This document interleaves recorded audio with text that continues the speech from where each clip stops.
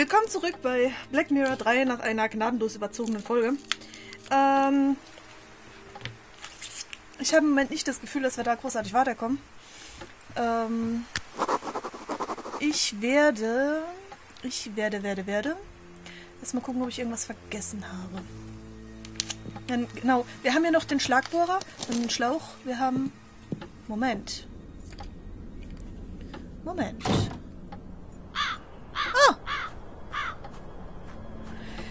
Mir ist nämlich, ich war zwischendrin jetzt was essen. Hier stehen eine Menge Benzin, alle leer. So ein Pech. Aber ich nehme mal einen mit. Irgendwo lässt er sich füllen. Genau. Ähm, mir ist nämlich noch eingefallen, dass es ja an einer bestimmten Stelle Sprit gibt. Und deswegen können wir doch noch hinlaufen. Ihr erinnert euch an den Tankdeckel?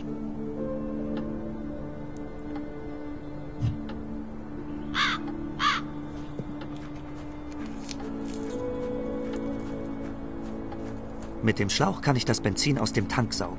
Ein Kanister habe ich auch. Los geht's. Los geht's. Ah, das schmeckt so eklig. Ja, ich habe wieder Wassereis in der Hand. Der Kanister ist halb voll. Das sollte genügen. Bei uns draußen herrscht im Moment die gleiche Stimmung wie hier im Spiel. Alarm. Weltuntergangsregenguss. Okay. Wir haben einen halb vollen Benzinkanister. Ähm, bam, bam, bam. Hallo. Danke. Nein, nein, so rum. Äh, b -b -b -bum.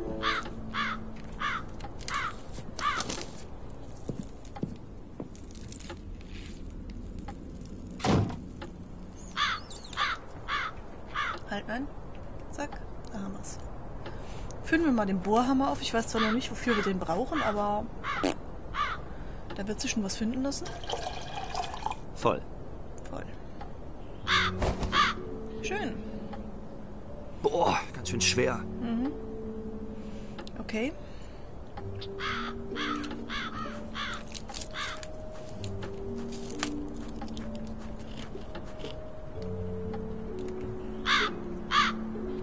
Das ist Blut. Gregs Blut. Ich kann nicht fassen, dass er tot ist. Erschlagen von einem toten Schelm. Unbegreiflich. Und was ist das hier? Schwarzer Schimmel? Seltsam. Ich dachte immer, Schimmel bevorzugt dunkle und luftdichte Stellen. Komisch, dass er ausgerechnet an diesem luftigen Platz wächst. Das Schloss scheint wirklich langsam zu vergammeln. Höchste Zeit, dass es renoviert wird. Na, das ist schon keine Renovierung, das ist eine Kernsanierung. Noch besser wäre wahrscheinlich Ausräuchern. Aber gründlich. Mit einem Exorzisten oder zwei oder drei. Wenn's reicht. Ja, ich habe da so eine Idee. Na? Schade. Das hätte jetzt so gut gepasst.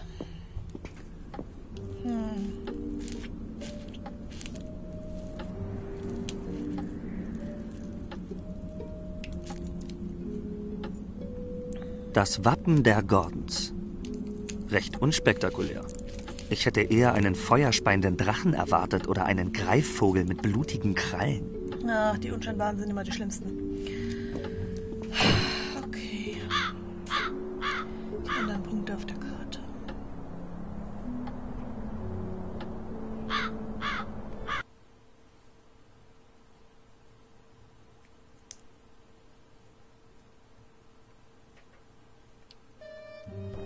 Spiel hat sich wieder minimiert.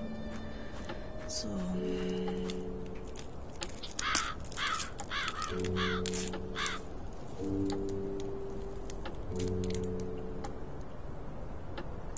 Moment.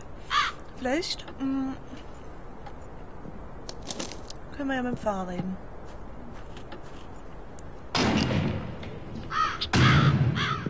Könnte ja sein, dass er was weiß. Hallo, Vater.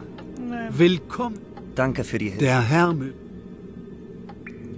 Willow Creek. Ja, wir wollten ja noch in, in, in Miss Valleys Haus eigentlich, ne? Die Frage ist nur, ob wir da reinkommen. Oh, das Museum ist eröffnet. Ganz schön wenig los hier. Wie verdient Mary denn an dem ganzen Kram hier Geld? Was zur Hölle? Aha. Eine Spendenkiste. Für die Hinterbliebenen steht da. Ja, sicher. Und eine Kamera. So kann Murray von zu Hause aus sehen, ob die Leute auch spenden. Das ist jetzt aber nicht mehr Miss Valleys Leiche, Eine oder? Nachbildung von Miss Valleys Brandleiche? Also damit ist meine Schmerzgrenze erreicht. Kann man Mary nicht wegen Geschmacklosigkeit verklagen? Ah, vielleicht.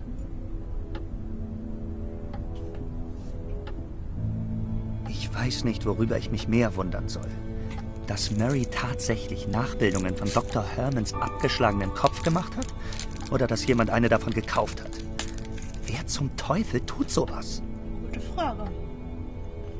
Was steht da? I love blood und kill me. Und was steht da drauf? Take my soul. Hat Mary Gipsabdrücke von seinem Hintern gemacht und verkauft sie jetzt als Totenmaske? Hätte es die schon eher in Serie gegeben, hätte Samuel sich die Morde sparen können. Womöglich. Hi.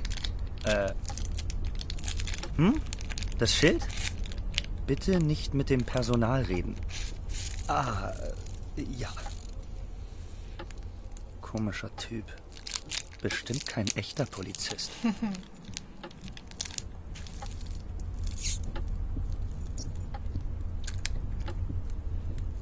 Oh nee, oder? Hier war die Gordon-Chronik drin.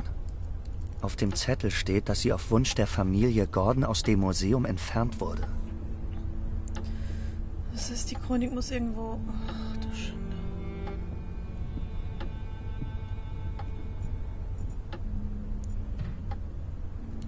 Die Bilder stellen die Mordschauplätze dar. Das hier zeigt den Leuchtturm, bei dem Miss Valley ums Leben kam. Das ist wohl die Rückseite von Black Mirror Castle.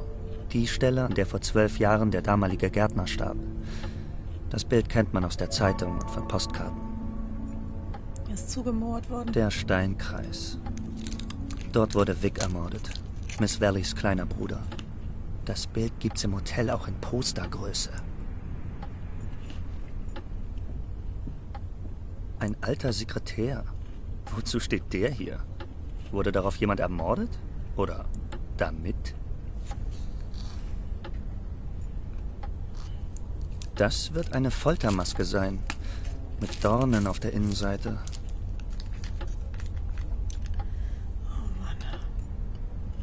Das ist der Zaun, auf den William Gordon nach seinem Fenstersturz fiel.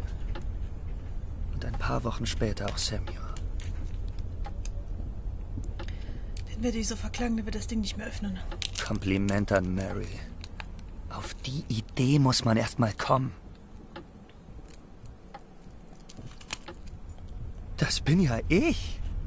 Gesucht, gefährlicher Brandstifter. Der amerikanische Tourist Darren Michaels steht unter dringendem Verdacht der Brandstiftung. Es werden noch Zeugen gesucht, die Angaben zum Ablauf des Brandabends machen können. Jeder Hinweis zählt. Fehlt nur noch die Kopfgeldprämie. Aha.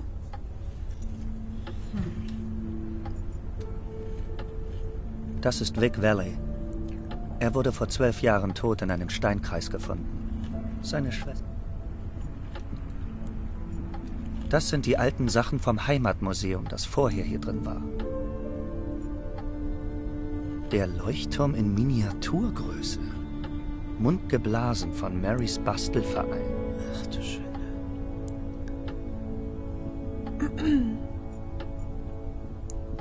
Was ist denn das für ein Buch? Tagebuch des Mörders steht da drauf. Mit blutiger Schrift. Ja, klar.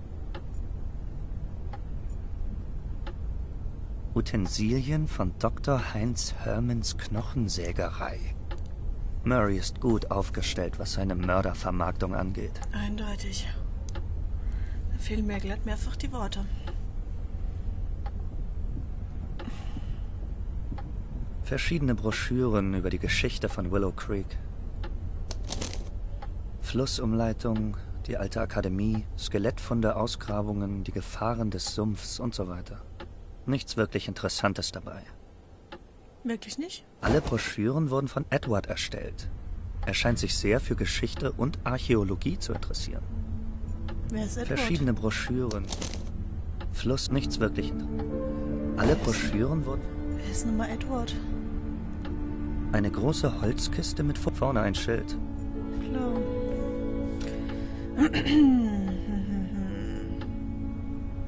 In hier gibt's wirklich nichts.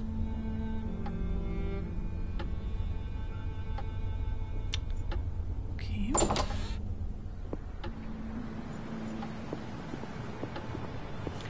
Naja, vielleicht weiß Miss Winterbottom was, dass die sich nicht aufregt, dass, dass Herman, ihr ehemaliger Kollege, Ja. da Hallo Doktor, wird und verkauft kann ich Sie wird. kurz was fragen? Na klar, kommen Sie hoch.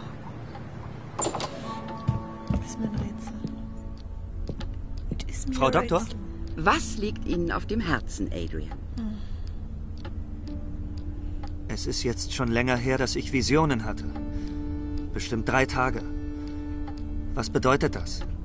Ich würde sagen, das bedeutet, dass die Medikamente gut anschlagen. Es könnte auch sein, dass die aufwühlenden Ereignisse der letzten Tage die Bilder der Vergangenheit vorübergehend verdrängt haben.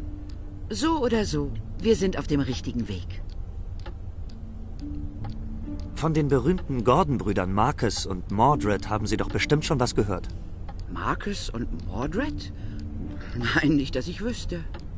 Ich meine die, die das Schloss erbaut haben, Black Mirror Castle, vor 800 Jahren. Ach so, die. Nein, was hört man denn von denen? Haben Sie sie gesehen, Adrian? Was haben sie Ihnen erzählt? Hä? Sie halten mich wirklich für verrückt, was? Nein, nein, im, im Traum meinte ich. Im Traum. Sie ist ja wirklich lieb, aber das geht ein bisschen zu weit. Sie sagten, Sie kannten Dr. Herman? Ja, er war ein ganz außergewöhnlicher Mann. Wir haben uns beim Studium kennengelernt. Eine schöne Zeit war das. Ich habe dann aber bald gemerkt, dass die Pathologie nicht wirklich etwas für mich ist. Im Gegensatz zu Heinz war ich immer schon mehr für die Lebenden zu haben. Sie haben Pathologie studiert? Unter anderem ja. Erstaunt Sie das? Eigentlich nicht wirklich. Anscheinend hatte meine Familie Kontakt zum Vatikan. Das ist für ein so altes Adelshaus doch nichts Verwunderliches, oder? Dieser Fluch, er existiert wirklich. Adrian, so etwas dürfen Sie sich nicht einreden. Ich wohne seit heute Morgen im Schloss. Und gerade eben gab es den ersten Toten, ein Handwerker. Das kann doch kein Zufall mehr sein. Oh.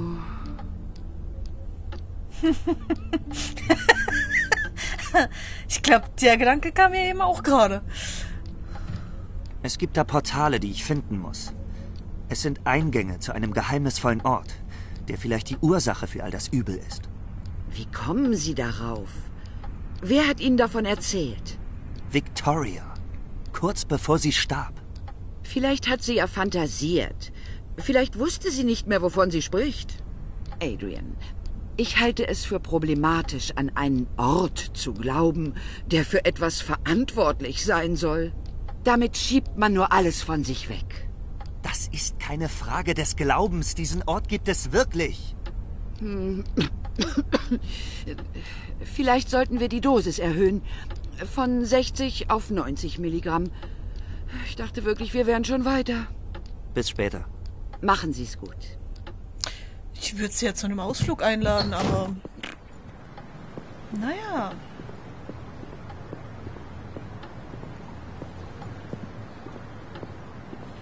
Nanu? Wo ist denn die Fleischkapuze hin? Gute Frage. Sehr gute Frage. Will ich's wissen?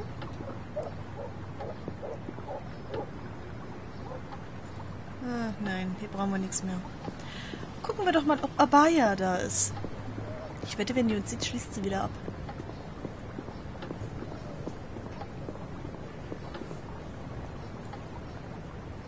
Immer noch geschlossen. Oder eher schon wieder. Gucken wir da noch mal bei der Polizei vorbei.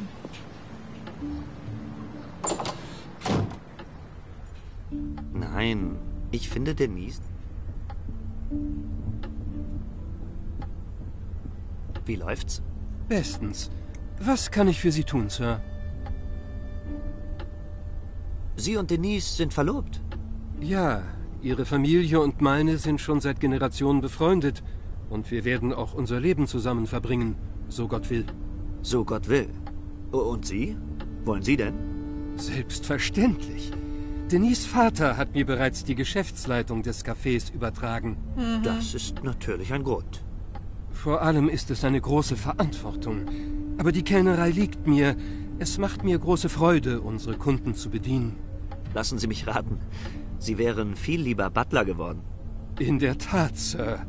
Aber die Stelle im Schloss war schon vergeben. Außerdem brauchte Denise Vater einen Nachfolger für sein Geschäft. Wir brauchen noch einen Butler, ne? Waren Sie mal im hiesigen Museum? Ich interessiere mich sehr für Museen aller Art, speziell Völkerkunde und Geschichte, Sir. Aber das hier in Willow Creek kann man nicht mehr als Museum bezeichnen. Guter Mann. Es ist vielmehr ein Sammelsurium an Unwürdigkeiten. Sehr guter Mann. Sie waren schon drin.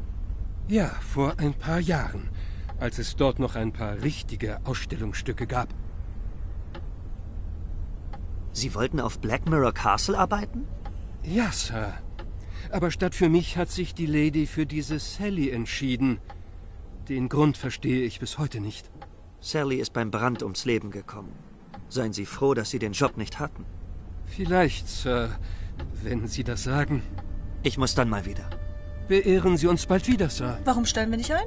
Ja, ist ja nicht so, als ob wir im Moment nicht freie Stellen genug hätten, ne?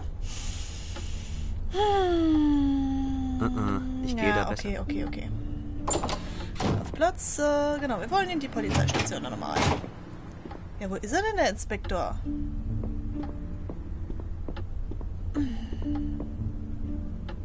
Kann ich kurz etwas fragen? Hm. Wo ist denn Spooner?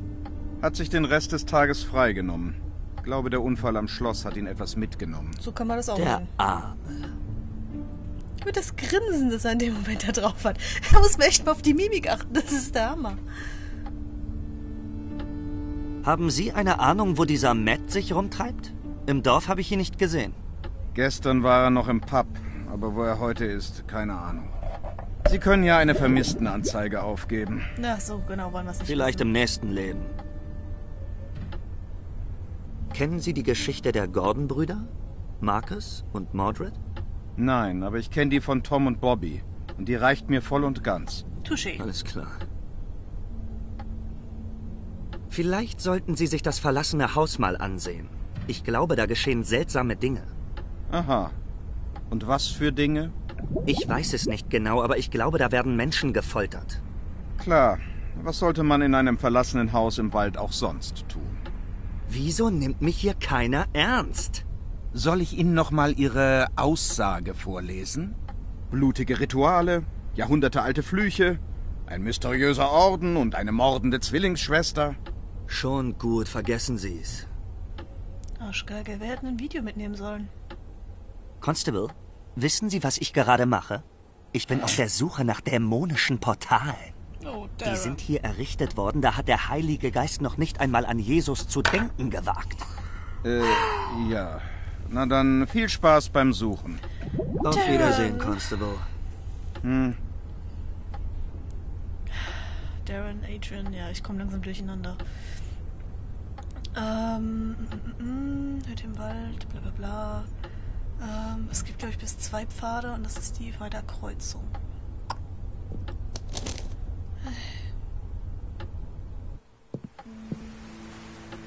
Ich habe keine Ahnung, wo der Weg hin. So, und der Trampelpfad, den willst du wahrscheinlich auch nicht gehen. Planlos durch den Wald laufen?